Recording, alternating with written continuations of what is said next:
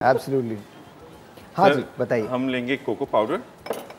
ठीक है। अच्छा तुम जरा मुश्किल बनाते हो चीज़ें कोको नहीं पाउडर। बहुत आसान है चीज़ें मिलती हैं मिल जाता है कोको पाउडर मिल जाता है। आराम से इजीली इजीली मिलता है। है हर जगह हर ग्रोसरी शॉप पे मिल जाता है। ओके जी। सो हमने कोको पाउडर लिया कितना लिया? लेंगे दो टेबल स्पून दो टेबल स्पून हमने कोको पाउडर ले लिया। ठीक है।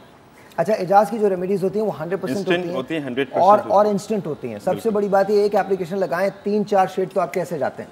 और इसके साथ हम योगर्ट ऐड करेंगे। ओके तो tablespoon. आपने दो टेबल स्पून कोको पाउडर लिया है एक टेबल स्पून आपने योगर्ट लिया। योगर्ट इसको हम मिक्स करेंगे विद ब्रश ओके अच्छा ब्रश के साथ। स्पून नहीं करेंगे यूज़ ओ उसमें हम थोड़ा सा पानी ऐड करेंगे। ओके जस्ट फ्यू ड्रॉप्स या या आई नो मुझे पता मैं कभी ज़्यादा कर देता हूँ। आई नो बस बस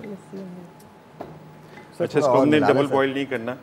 थोड़ा और मिला चीज़ें मिलेंगी ना इसमें अच्छा चीज़ें और मिलेंगी। ओके चॉकलेट भी लगा सकते हैं। हाँ चॉकलेट मैंने चॉकलेट मास्क बनाया था ना।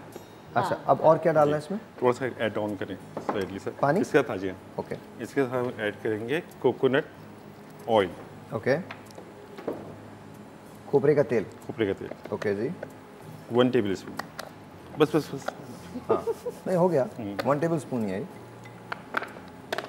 ओके और इसको अच्छी तरह से इसको मिक्स करना है। वाओ और ये ये एक chocolate Sort of a mask ना? जी Mask बिल्कुल। है। बिल्कुल मास्क है। ओह बिल्कुल एक चॉकलेट फॉर्म में आ जाएगी आपके साथ। देखें लगाते ही जाए खाते भी जाए। हैं? लगाते ही जाएँ खाते जाएँ।